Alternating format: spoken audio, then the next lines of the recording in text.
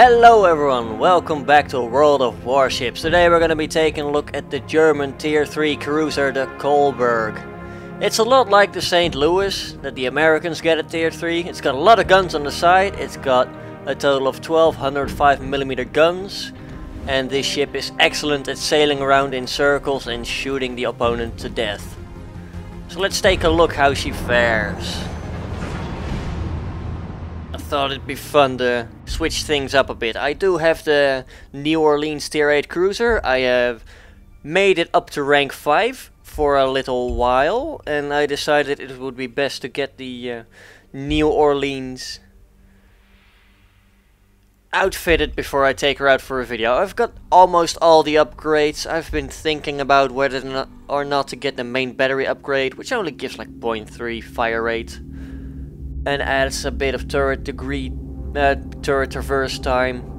But there we go, we found our match, we're up to tier 5, so we don't have the best matchmaking for us personally. Although we do only have like a 9.5 kilometer spotting distance, so we're gonna try and keep our distance from those New Yorks and Kongos. And other scary things might be coming our way. Just taking a look at the Langleys. Both are fully upgraded, from the look of things.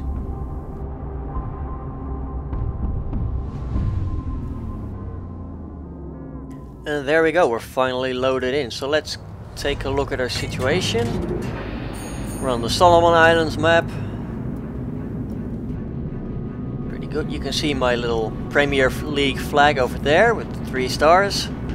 It's good like two weeks left in, this, in the current season, so I shouldn't have any problems with getting to rank 1. Just taking a look around. It does. There we go. We've got someone in the secondary league. I've only seen one person so far with the Jolly Roger. It's quite rare. Not a lot of people seem to be uh, flying the rank flags, as I am. But as you can see in the lower left corner of the screen, there is six guns on each side of the ship. There we go, that's quite the firepower. And they all reload quickly as well. It's not the fastest ship in the game though, that's uh, a bit unfortunate. But we shouldn't have any problems getting uh, some action once we get near to the corner of the island over there. Yeah, I've been recording some more XCOM as well. I hope you guys are enjoying that series. I will be putting up another video, like 4 hours after this video goes live. And it's a pretty fun game, so I will certainly be having fun playing it and uploading it for the channel.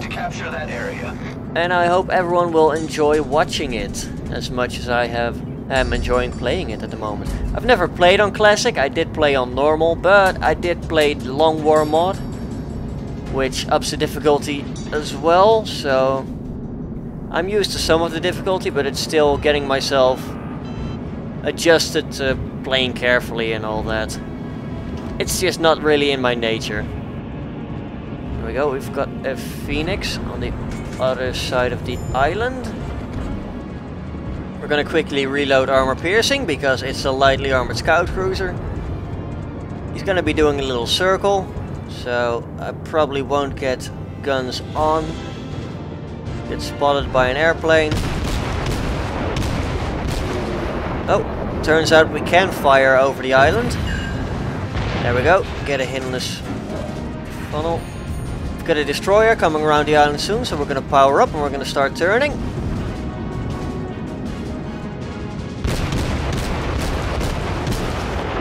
Go reload high explosive.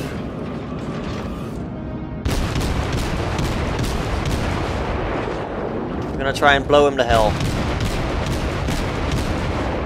You can just see the amount of firepower pouring out of this little ship.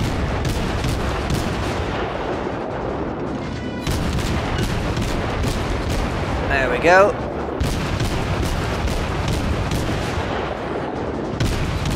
We're just staring through that destroyer.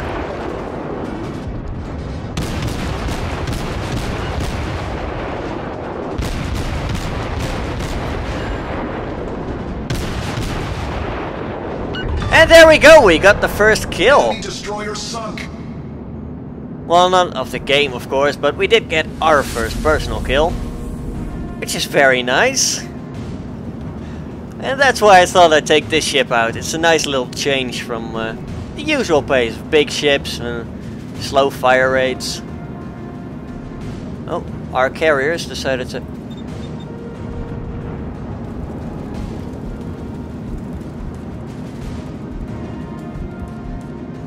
Let's try and give him some friendly encouragement to try and move his ship so he doesn't get blown to bits.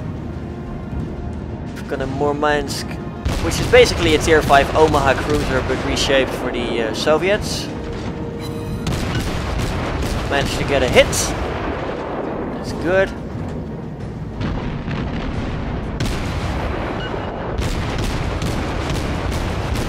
We're not spotted because of the... No, never mind. There was a smoke screen in the way, but not anymore, apparently. Or it's not as beneficial as it used to be. Running out of range on the Murmansk, so we're gonna try and close in if possible. He's trying to get away, so that's gonna make it more difficult for us. And once again, we're not the fastest ship in the ocean. He's turning back towards us. That's gonna be a grave mistake on his part. Just trying to figure out the lead on this ship. Haven't played it much for a while now. There we go, he's turning face us. So we're gonna get some armor piercing in his ship. Oh, he does have torpedoes if I remember correctly, so we're gonna have to be a bit careful.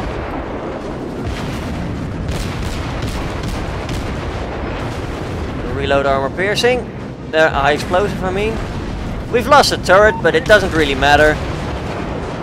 We've got a ton of turrets anyway. I'm gonna start turning, bringing the other side guns to bear. And someone else takes him out before us. That's fine. 8 seconds until our turret is back up. We're still spotted at the moment, but nobody seems to be prioritizing us, which is fine. We're gonna try and catch up to the New York and the Langley. New York is foolishly trying to push him or something. I don't know what's going on over there. The Izyaslav got us spotted now. That's unfortunate. Although we are closing on the carrier. That's good.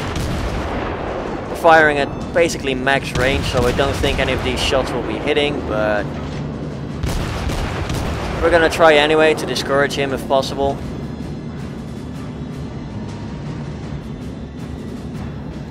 We're gonna try firing at the Kongo. Might be able to land some shots on him. Set him on fire or something. New York's now looking our way. This is uh, starting to seem pretty bad. Oh no, he's... Not anymore, apparently. But we've had better results firing at the Kongo thus far, so we're gonna adjust our course slightly, get some more guns to bear. We're gonna start bringing in the HE spam. He's reversing because he ran himself aground on the island. We've got torpedo bombers incoming. That's too bad. We don't have a lot of anti-air on this. Yep, there they go. Torpedoes are in the water, but because we saw them coming, we have no problems avoiding them. There's the bloody destroyer. Let's do to him what we did to the Nicholas. Turn to avoid potential torpedo fire.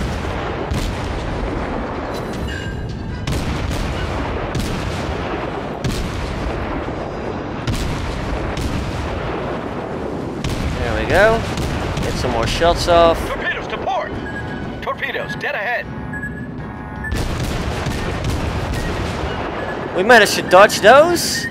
Took one on the nose there. That's a bit unfortunate. Control the flooding. Take him out. We've sunk We're not dead yet, somehow. That's always nice to see, though. Get some shots in on the New York, try and get him on fire.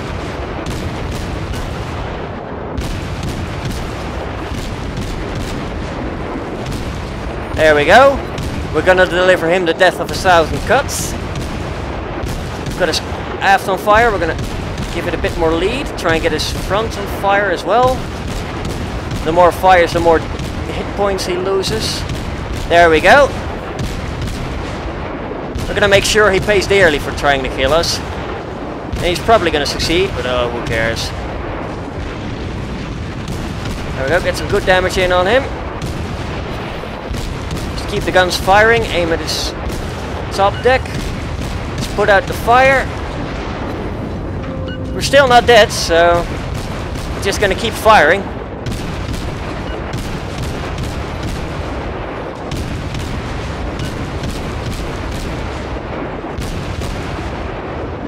There we go, little camera glitch. He's repairing damage, which is unfortunate. But we've set him on fire again, which means he's probably gonna die now. But then again, so am I. Oh, someone else took him out. So we're not dead yet. Time to fire at the Langley.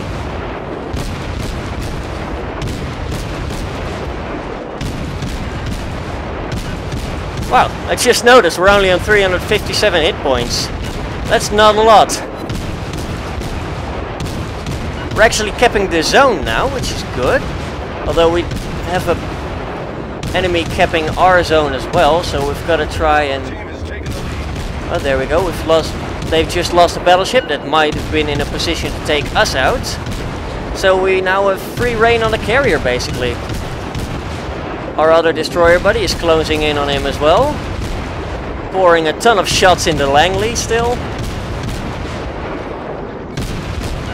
Langley's occupied trying to avoid our our destroyer.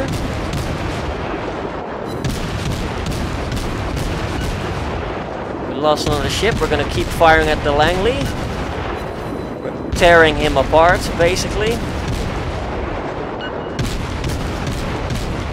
Just gonna keep firing high explosive. We set his flight deck on fire so he can't launch any more aircraft. He's managed to avoid our destroyer's torpedoes, which means we're gonna get most of the damage in on him now with our shots. Oh, never mind, he's, he's had another salvo in the water. And there we go, he takes him out. We've we've went out of the capture zone though, that's unfortunate. Yeah, that Clemson over there has taken most of our kills. I, I dare say we could have had a third one because we did most of the damage on that Langley. Although he did sink pretty nicely. Our battleship has managed to hit our, their destroyer at least once. So just keep resetting. And then we can capture for the win.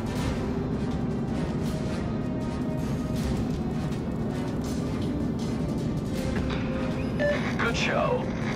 Tell everyone that that was a great battle. We're gonna try and get some more... Not sure if we actually have any anti-air on this ship. I don't think so. No, we can't focus it on the airplanes, so... Well, that's it, pretty much. It's a fun ship. And we probably did a lot of damage. We got a lot of hits, that's for sure. Can't wait to check out the post-battle results. It was a pretty quick match as well, all things considered. We've still got like 8 minutes left on the clock. There's not really anything to do anymore. I mean, we could try and get some main battery fire on those uh, torpedo bombers, but that's not really going to do much. They're just going to circle around where the Langley sank.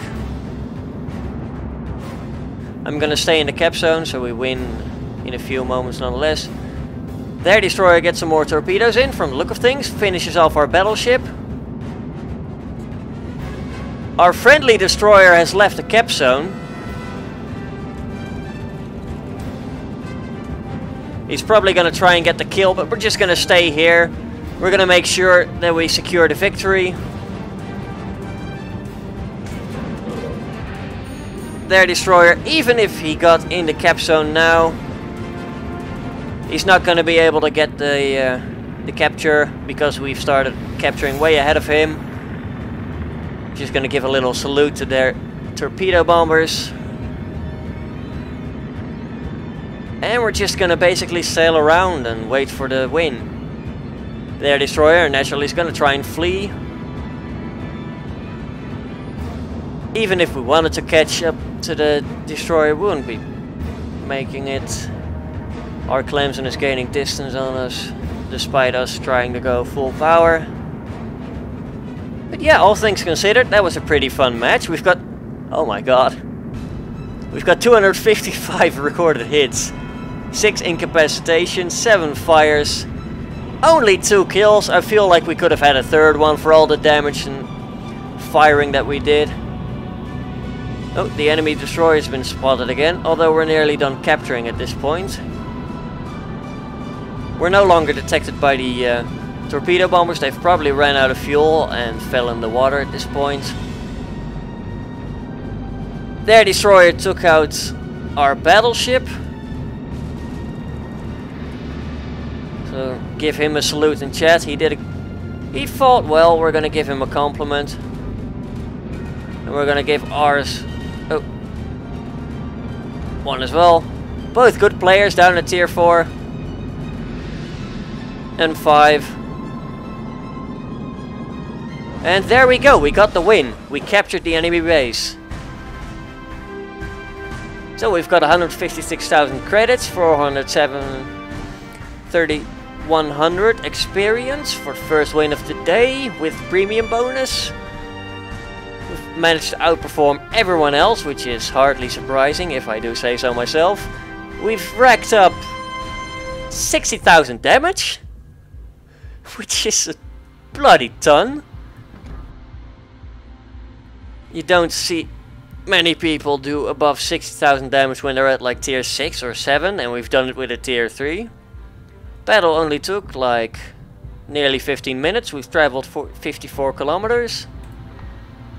We didn't receive as much damage as I thought we would have, but yeah. That was a pretty fun match and it's a pretty fun ship, all things considered. We've got enough experience to research the Karlsruhe and we're gonna research you. We're gonna we're not gonna buy you yet. I'm a little low on credits because I want to upgrade the New Orleans. But that has been the Tier 3 Kolberg. I hope you enjoyed the video. Please leave a like if you did. Leave a comment down below if you have anything to say. And I will hopefully see you all next time. Have a good one, folks.